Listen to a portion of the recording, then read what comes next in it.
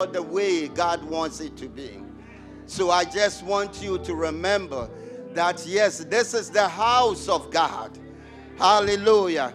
Even in the absence, we are greeting our bishop. We are praying for him that what he is doing over there, God will use him mightily to fulfill it. Hallelujah. And so, this is a God that is not uh, just in one place, He is omnipresent. So, here He is in this house today, Ebenezer Urban Ministry Center. Just give a shout unto God for His goodness. Amen. Amen. What a mighty God. I cannot even phantom this that we are here serving Him and many things are happening. I just want to welcome the Lord's presence, which has been here to be magnified in everybody's life, to be strengthened in everybody's life. I saw Sister Sharif here this morning. I think she got engaged uh, what last week, right? We welcome you, we congratulate you and your husband. Hallelujah to be. Well, God is so good. So this day, I have come that whatever God will give me will be given unto you. I'm not by myself. I know the Spirit of God is here. Hallelujah. When He moves, I move in it. And there is no fear in anything because He's given me power, He's given me love, and He's given me a sound mind. Hallelujah. So I'm here to bust through. But before you sit down, we are going to hear the, um, the scriptures that we have for today. I think it's a long one, but I, we have to hear these things again and again. Faith comes by hearing and hearing the word of God. And so here we are. Please, as you stand with me for the word, it's taken from John chapter 4, from verse 5. If I jump, you know the story already, so don't be worried. And it says, So he came to a city of Samaria, which is called Sychar near the uh, plot of uh, plot ground that Jacob gave to his son Joseph. Now Jacob's well was there. Jesus, therefore, being wearied from his journey, sat thus by the well. It was about the sixth hour, which is usually 12 noon. A woman of Samaria came to draw water. Jesus said to her, Give me a drink for his disciples had gone away into the city to buy food. Then the woman of Samaria said to him, How is it that you, being a Jew, ask a drink from me, a Samaritan woman? For Jews have no dealings with Samaritans. Jesus answered and said to her, If you knew the gift of God and who it is who says to you, Give me a drink, you would have asked him and he would have given you living water. Hallelujah. The woman, the woman didn't know who Jesus was. The woman said to him, Sir, you have nothing to draw with, and the well is deep. Where then do you get that living water? Are you greater than our father Jacob, who gave us the well and drank from it himself? as well as his sons and his livestock. Jesus answered and said to her, Whoever drinks of this water will test, uh, will, will test again. But whoever drinks of the water that I shall give him will never test. But the water that I shall give him will become in him a fountain of water springing up in everlasting life. What a God. The woman said to him, Sir, give me this water that I may not test, nor come here to draw. Jesus said to her, Go, call your husband and come here. The woman answered and said, I have no husband. Jesus said to her, You have said well. it's well said, I have no husband. For you have had five husbands, and the one whom you now have is not your husband. In that you spoke truly. The, the woman said to him, Sir, I perceive that you are a prophet. Our fathers worshipped on this mountain, and you Jews say that in Jerusalem is the place where we ought to worship. Jesus said to her, Woman, believe me, the hour is coming when you will never and uh, neither worship on this mountain nor in Jerusalem. You worship what you do know. We know what we worship, for salvation is of the Jews. But the hour is coming, and now is when the true worshippers will worship the Father in spirit and in truth. For the Father is seeking sight to worship him. God is spirit, and those who worship him must worship him in spirit and truth. The woman said to him, I know that the Messiah, that Messiah is coming, who is called Christ. When he comes, he will tell us all things. Jesus said to her, I am, uh, I who speak to you, I am he. Hallelujah. So this is Jesus.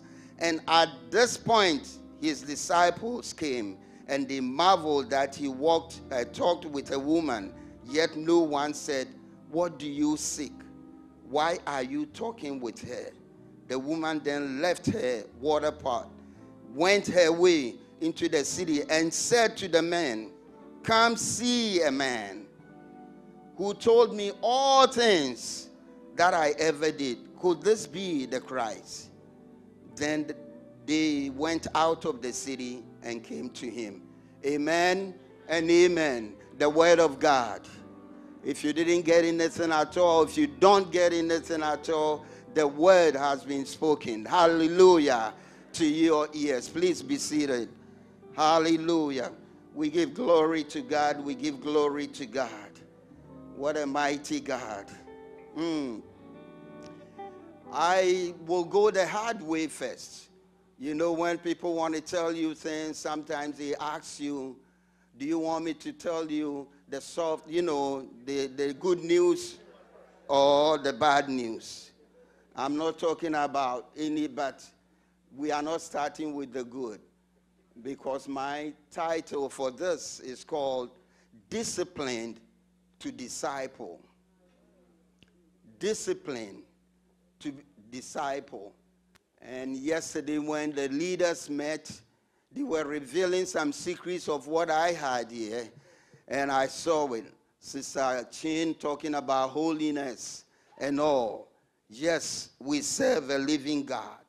The word of God in Romans tells us, chapter 10, he says, For whosoever shall call upon the name of the Lord shall be saved. How then shall they call on him whom they have not believed? And how shall they believe in him of whom they have not heard? And how shall they hear without a preacher, a discipler, without somebody to speak the word? And how shall they preach except they be sent? As it is written, how beautiful are the feet of them that preach the gospel of peace and bring good tidings of God. So we have to be out there we have to. And it's, I always say this when you buy a new place, you call your friends, you try to show off how good God has blessed you. And if you have Jesus, hallelujah, you have everything else.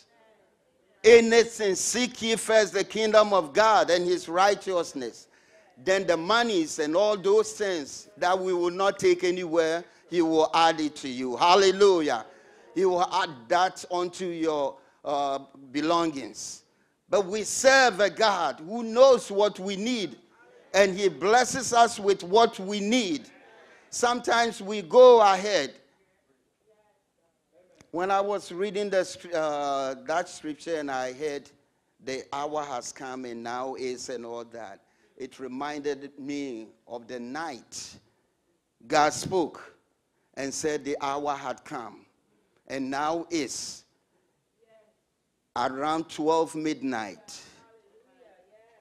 And the following uh, Wednesday, uh, Sunday, we went to move from the church that we were because God wanted me to leave. And I had prayed for one year with a pastor friend.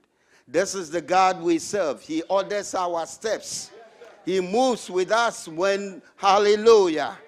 So we cannot be on our own. He sends us. When you, he calls you, he also blesses you with a gift that will take you anywhere that you have to go. He gives you that authority, He gives you that power. You are not afraid of faces. Hallelujah. We look only unto God. So if you die, what? And we heard the triplets sang, Heaven, there will be gold. Hallelujah. We'll be walking on those gold. What else? Here, the gold we put around our necks and our around our wrist. Over there, we'll be walking on it. Hallelujah. People ask me, how come I don't have gold? And those, uh, I come from Ghana, the former Gold Coast. But that is not important. Hallelujah. It's what is inside of me that God is looking. Hallelujah. For us to do. So, not to veer away from this. People are hungry for the word of God. But we approach them uh, sometimes awkwardly, snobbish ways without knowing their background. Because when you hear people's stories, then you see that the story you have is secondary, it's not important. Hallelujah. People have gone through. So I was looking and I saw a young lady with a t shirt, and on it, it is written, I don't know how they could write all that on it, but it was on the t shirt. It says, Be careful what you say to me. My grandma is crazy, and I'm not afraid to tell on you. Hallelujah. So you look at these things. Yes, we go out there and we try to speak to people. If you don't touch them in the right place, they get angry. Sometimes you are a nurse, you go to the patients and already they are hiked up, waiting for somebody to devour. so when you go and the approach is not right, they get angry. They try to tell you things, and it will lead you, and you hear from my story here that uh, you get angry, but you shouldn't. Hallelujah you should stay the same. You should be able to contain that. You should be able to do the things for which they have sent you to do. Hallelujah. Sometimes my wife will call and she'll say, Oh, you like you why do you like working like that? I said, even if I'm not here, I'll be doing the same thing on the street. Hallelujah. This is what we are called to do. So you'll be living and something happens and they call you right away, you have to turn back and go and fulfill it. Anything concerning God should come first. Hallelujah. Hallelujah. Don't think about what you have lost or what you are losing. If God doesn't allow anything in your life, if you are hooked with Him, no one can take it away from you. If they steal from you, they will return it a hundredfold. Hallelujah. Am I speaking to someone today? This is in preparation to go out there and speak to people. So you learn, you do those things, not thinking about I'll be late for food or something home. Uh, I didn't feed my husband or my wife. Think about God's things first. Hallelujah. Okay. If not, He will give, He will tell you what you have to do to please your husband what you have to do to please your wife. Hallelujah. I'm not saying, you know, we have to put him first, but our house also should be in order. Our house should be in order. Because you can be smiling here and you go home and you are sad. You cut everything that you have gained over here to a very uh, slim or short.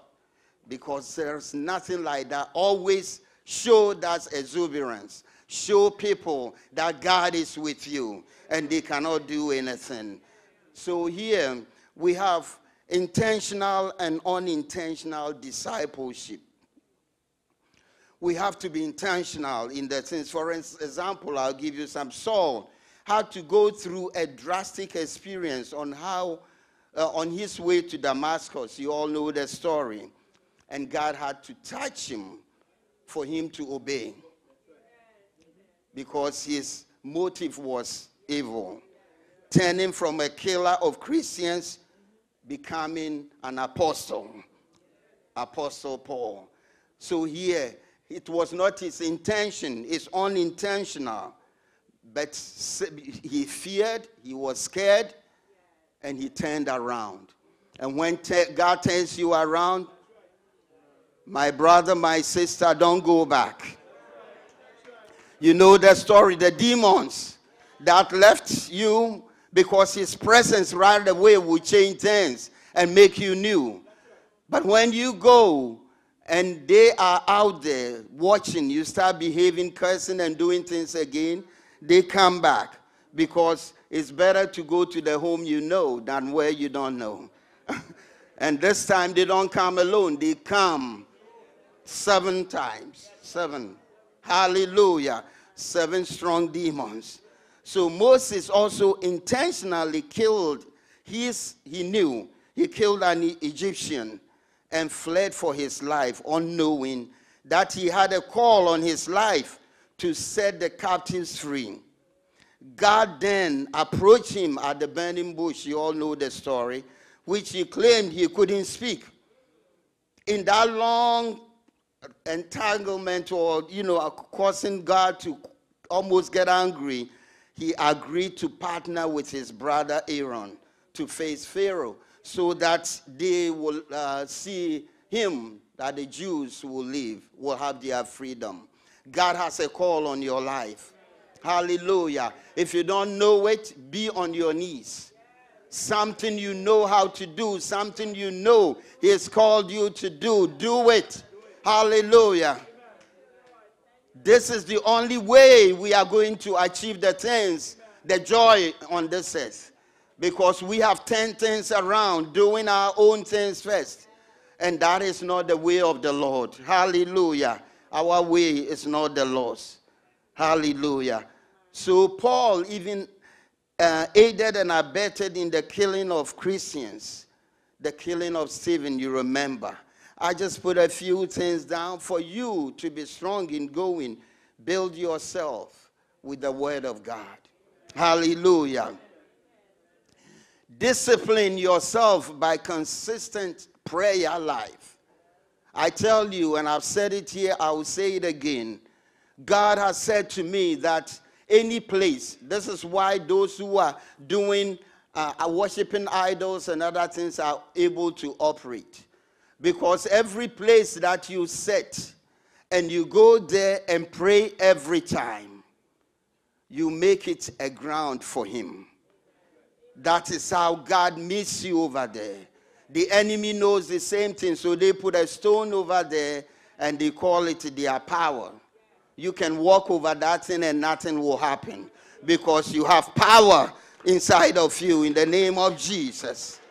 Hallelujah. I hope live stream you are all watching, but take something out of this for your lives. It is so important. We serve a living God. We serve a living God. So the warning is this. If we were to go to Leviticus chapter 7, from verse 1, it tells you, even for verse 1 alone, Aaron's son, Nadab and Abihu, took their censers, put fire in them, and added incense.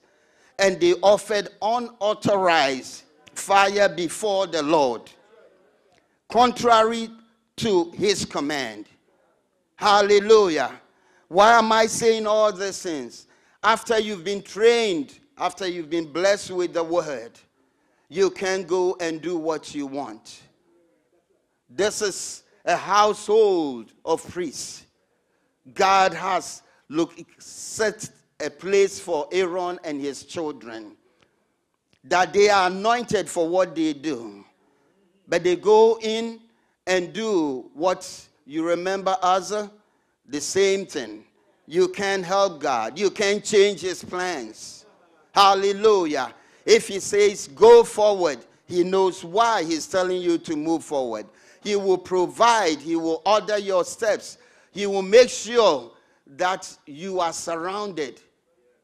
Like Elisha told his servant Gehazi, or Gehazi, as people would say, look up there. And he prayed and his eyes opened. And he saw that the angels, the people, the chariots around him were more than the people that were coming to get them. Hallelujah. So fear is the last thing that we should put. When you begin to fear, you create something for yourself. God created the world by the word. He spoke it to being. So if you want to shape your children, if you want to shape your life, never say, I'm afraid. I can't do this. I can't do that. You are shaping something that will harm you. Hallelujah. Speak the positive things, the right things, and you will see the results.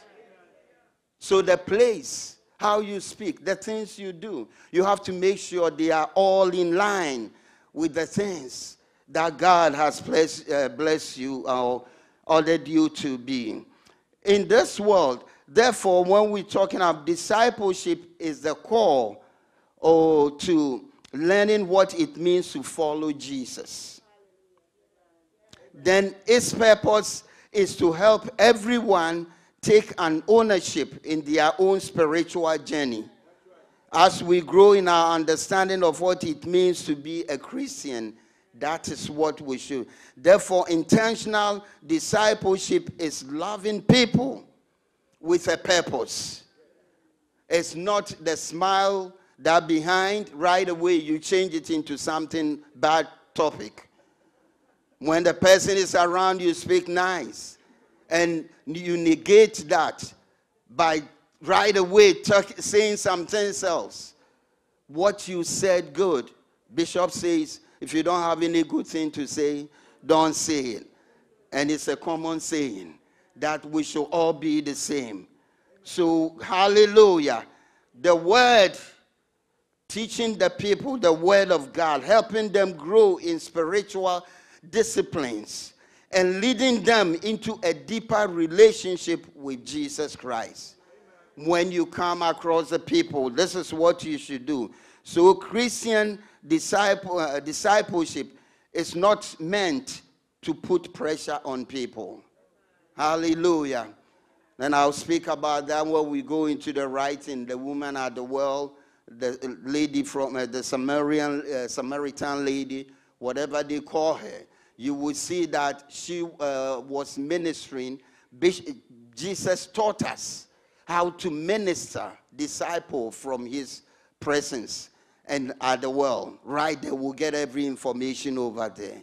Hallelujah. So as I continue to go on over here, we should begin by dis, uh, disciplining people because you can't hide, you can't cover some things. I'm not saying you wouldn't be tempted, but we are tempted, but because we are living with the Holy Spirit. He always sees, He wants us.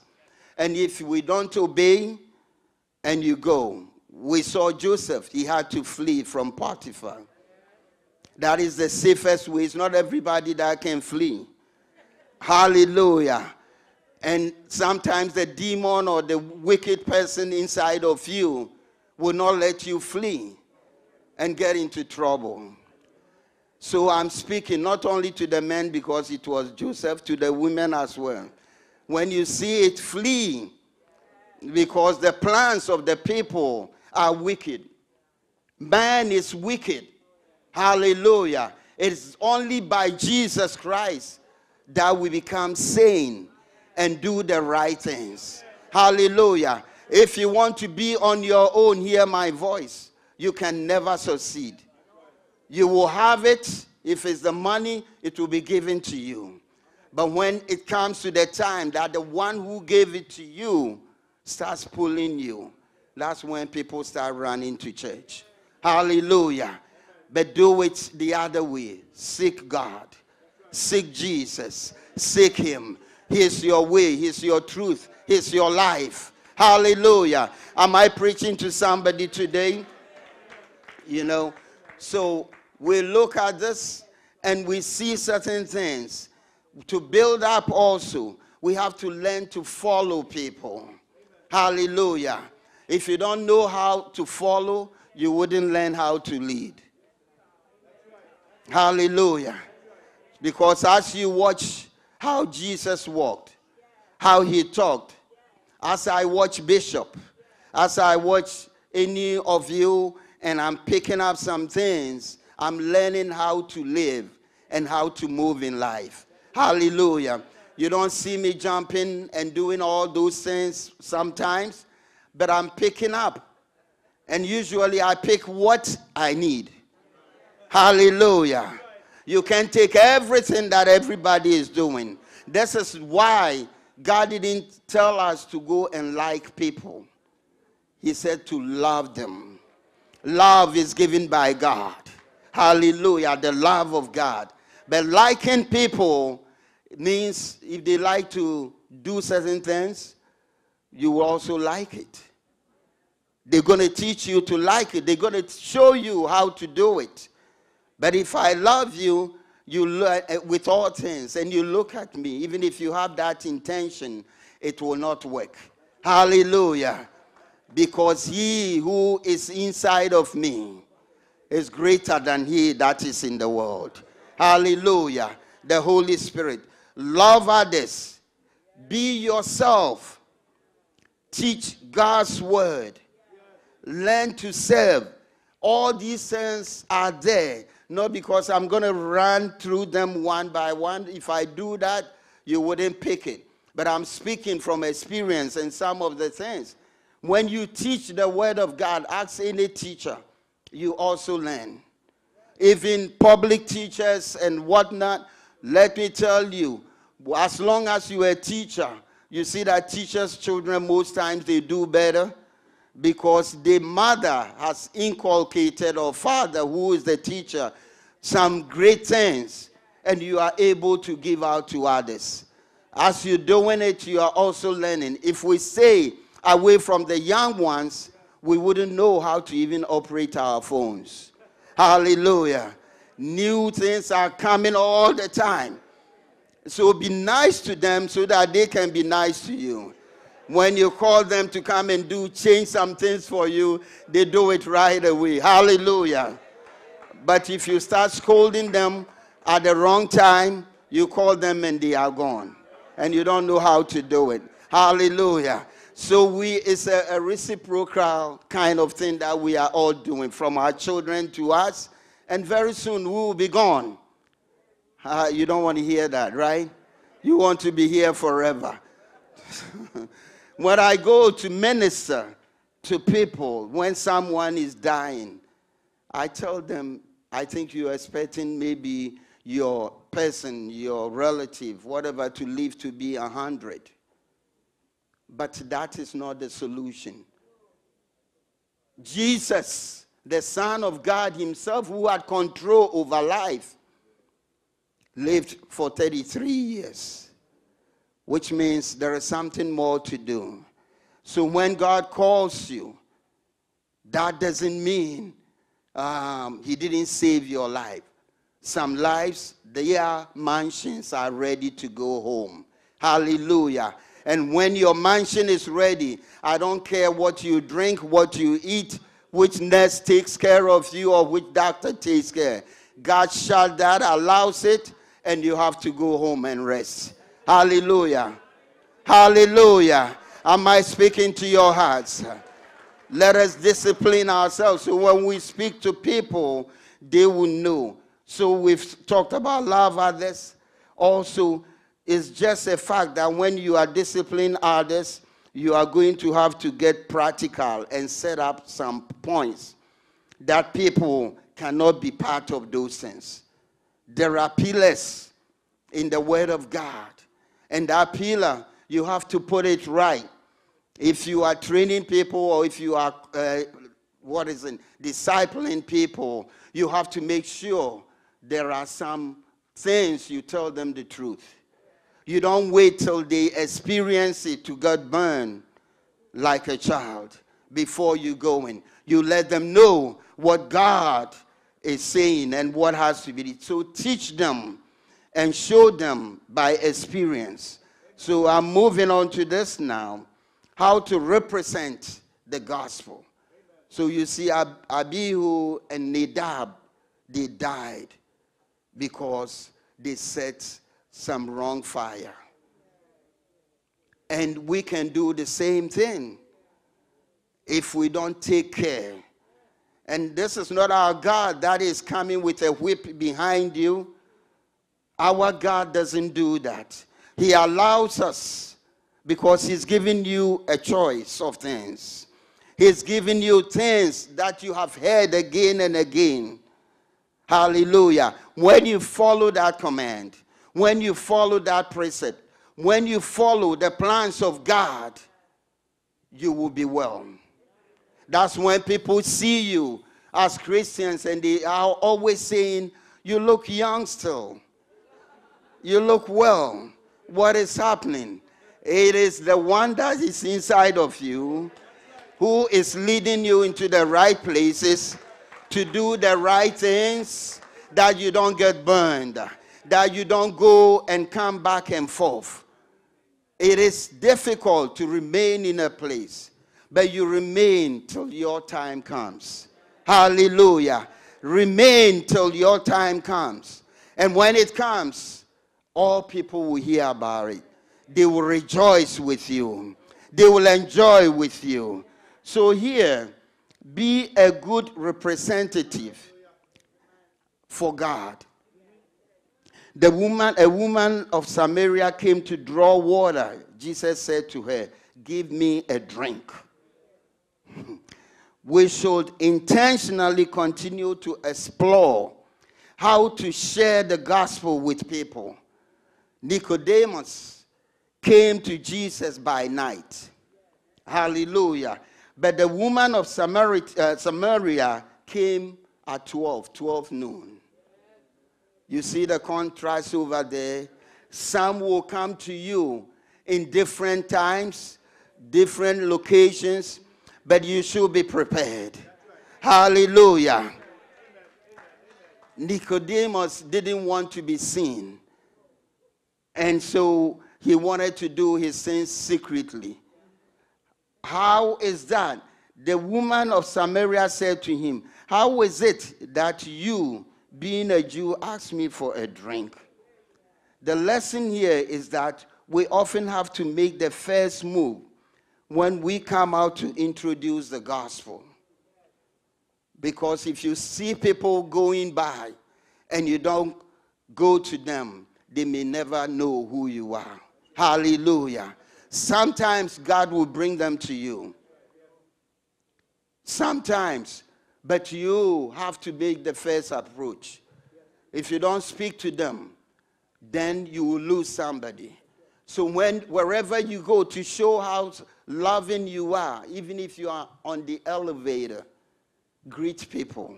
Hallelujah. You want greetings back? You want a smile back?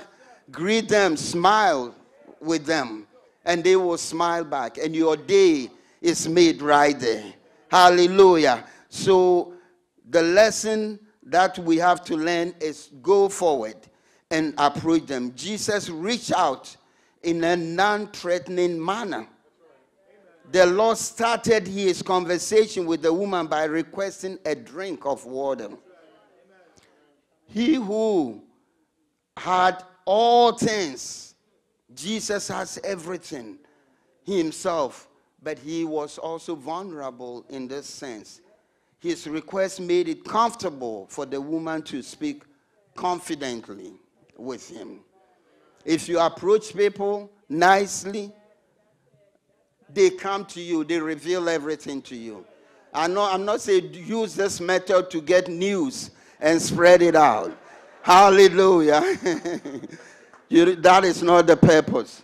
The purpose is to know if they are serving God or not. Hallelujah. So that you can use that to reach out, to evangelize them or uh, disciple them. So here Jesus broke a number of taboos that if I say I'm going to go through, it's a whole lot of things that he shouldn't. The woman being a Samaritan and being a woman and all the things they worship and all that. You know it. Bishop has preached with us all the time, and I'm looking at the time. So we're going to be joining the, to learn the good things that you don't be offensive. The woman at one point, if you go to John chapter 4, verses 11 and 12, the woman said to him, Say, you have nothing to draw with, and the well is deep. Where then do you get that living water? When you approach people, sometimes they fight. But you have to hit the soft part of their lives. Hallelujah. If you know it and you do it, like Nicod- you know Nicodemus again, the Samaritan woman misunderstood Jesus' terminology, his way of talking. In the case of Nicodemus, when Jesus mentioned being born again, he asked whether he should go back into his mother's womb to be born again. So it's the same way when you approach somebody while you are discipling or, you know, they are going to jump.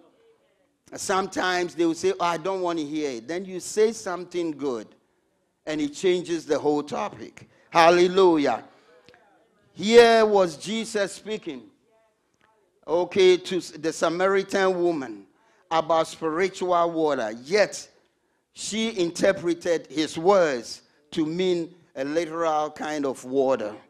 For that reason, the woman was more concerned about how he will obtain the water than simply asking him to give, the, give her uh, a drink of the spiritual water.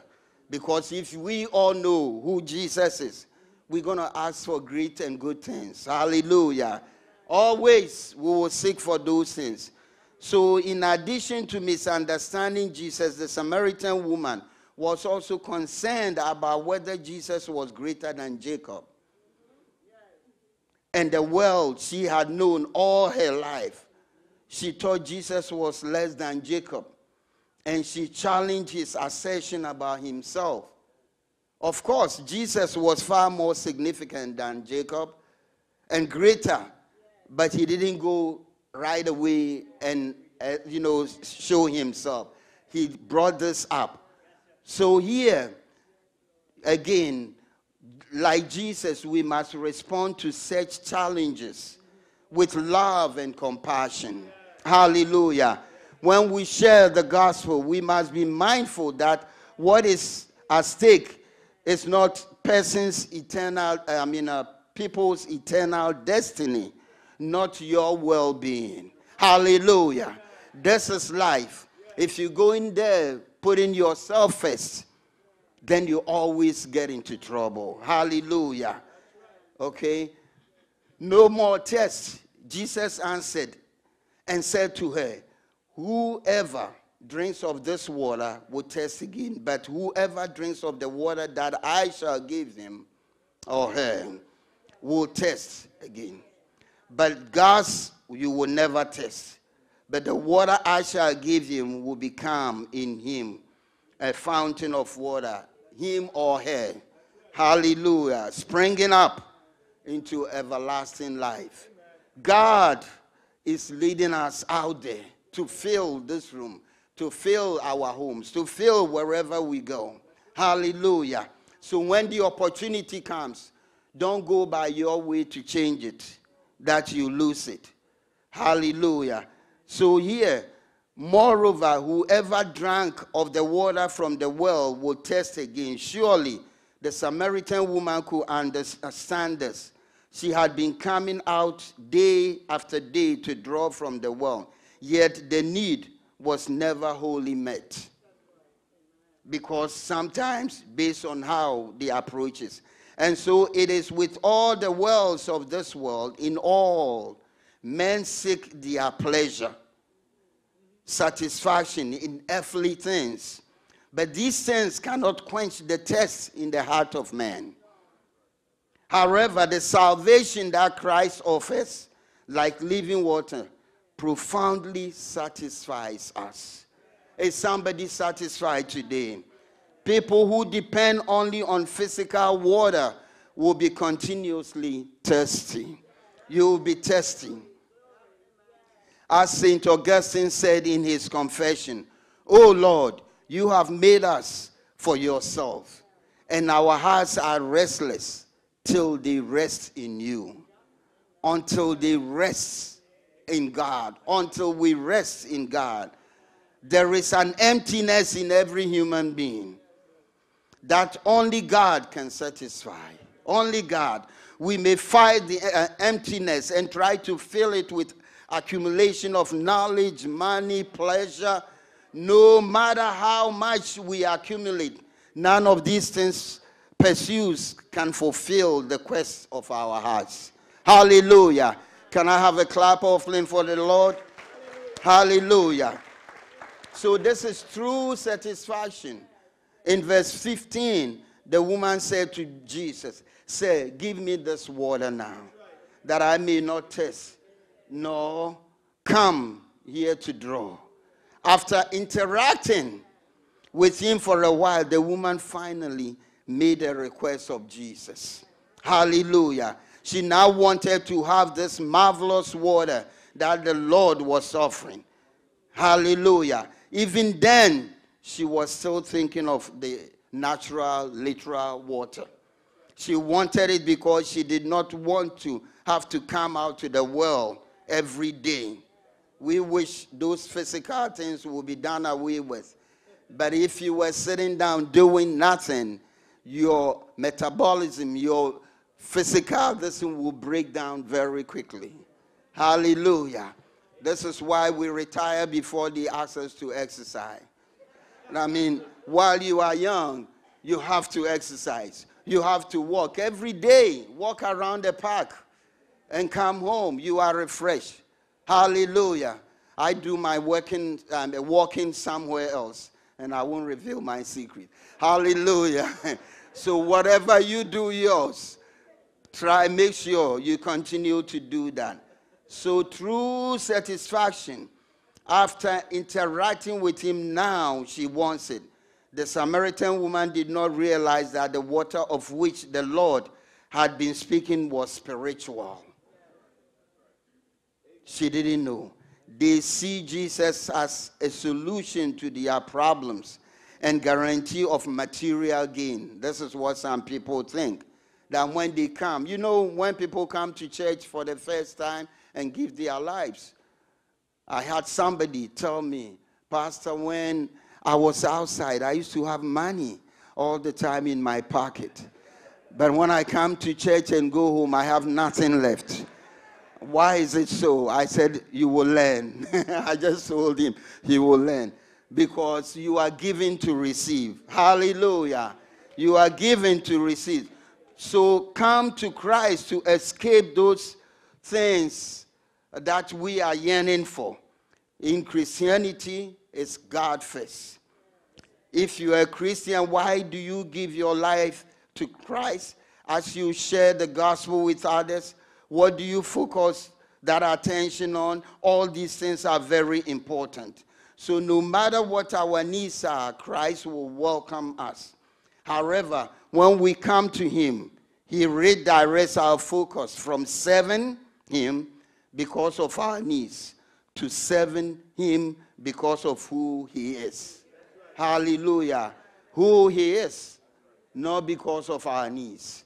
Hallelujah. If you have that in mind, it's not going to be. So preach em- uh, empathy to people. Make sure you are doing, stop unnecessary argument. I am going to put this to the end and then give you the final.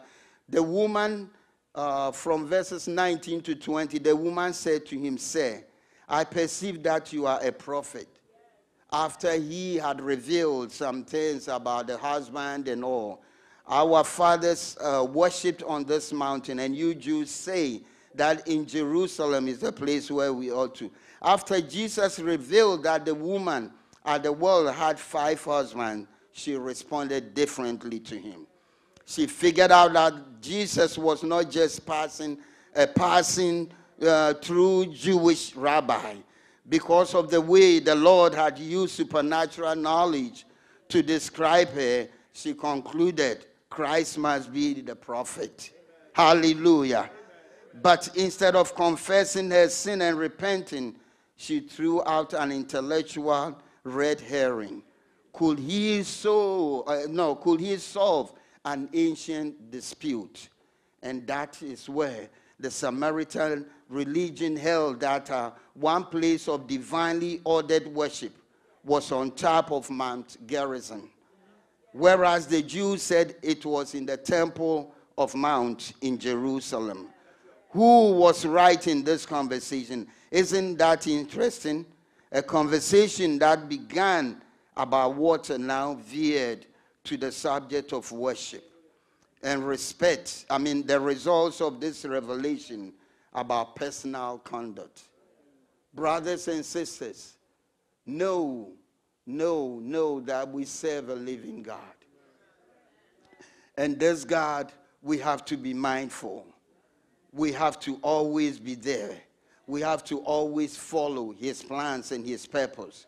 I can go on and on because I've downpacked entire all of the the Samaritan woman. So I'm leaving you with 20. If I ever come back again, we may start from another point to go on. this is my church, so I'm here. But God is good. God is with us. Brothers and sisters, I came to break this down for us so that we don't go and fight out there. We don't go in our own way. We don't go. Hallelujah. So, in presenting the gospel to others, we must do so respectfully and honorably. The message of Christ should not be a tool with which we can condemn people and knock them down. It is a message of redemption for the downtrodden and the heavy laden. It is, let it be your aim to represent Christ well to the world, to present the gospel as he did it to the Samaritan woman with dignity and honor. And may we encounter Christ as she did and be true uh, ambassadors, representatives of EUMC and the world. Hallelujah. And the world. Hallelujah. God is good. God is good. Let us stand on our feet. Hallelujah. What a mighty God. Hi, Shabasutaraba.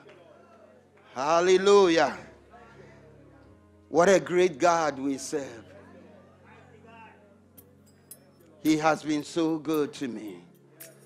And I know He's good to all of you. You wouldn't be here if He had not been good to you. And I don't know, I didn't look at the PowerPoint. But here you are in conclusion. First, you have this young boy holding uh, a, a, a, what, a placard and he tells you, he says, Will you tell me about Jesus? People are waiting to hear. Let it be your aim to represent Christ's well to the world, to present the gospel as he did to this woman, I repeat, with dignity and honor. At this moment, with our heads bowed, let us pray. If there is anyone as we pray, if you've heard the word and you have not made Jesus your first and the last, think about it. Your first and the last. There is something lacking in between. I want you to come forward. That the pastors, and other uh, ministers, will lay hands to rejuvenate, activate what is inside of you. That you have to be sensitive to the Spirit of God that dwells in you. Because on your own, you can do nothing. On your own, you cannot fulfill the things of God. It is well. It is well. If there is also anyone here that have not given his or her life to Christ, if you are here with our heads bowed, I just want to see that hand that you want to renew your life with Christ. Because without that covering, without that covering, all we do is vainless, is not founded. Because you need His presence. That when people see you, they know you are a woman of God, they know you are a man of God. They won't tempt you with certain things that they will do to others say certain things around you. If there is anyone, I just want to, you to come forward very quickly. Very quickly, if you can. Let us pray. Father God, we come before you. What a mighty God we serve. Lord, you are the fulfiller of our lives. You are the one who blesses us. You are the one who has given us the touch that we need. This afternoon, Lord God, I come to bless and release fresh anointing over every household. Lord, even those who are mourning, Lord, we pray for that comfort. We pray for that touch. We pray, oh Lord, for that refreshment. That Lord God, hey, they will break every yoke that is around them. That nothing can trick them to turn around. For to enter into this house is saying, I believe in Christ. Any foreign thing that does not belong here, Lord, we scatter it in the spirit realm we remove it from the households, that there will be freedom in the house of God. Lord, I pray that your peace will be in every household. Remain with them. Heal the sick amongst us. Lord, you can reach anyone anywhere. Those who are even hiding from me or cannot see me, Lord, they hear your voice let change come. That testimonies will flow that they heard the word and the word is at work in their lives. I release them with that anointing in the name of Jesus. In the name of Jesus. Hallelujah. In Jesus' name. Hallelujah. Hallelujah. Hallelujah. And now may the Lord bless you and keep you. May the Lord make his face shine upon you and be gracious unto you. May the Lord lift up his countenance over you and give you all peace, both now and forevermore. And let everyone say, Amen. Amen. Thank you for being in the house of God today. Thank you. Before you go, something that we do all the time. We want to see our guests for today. Oh, oh they are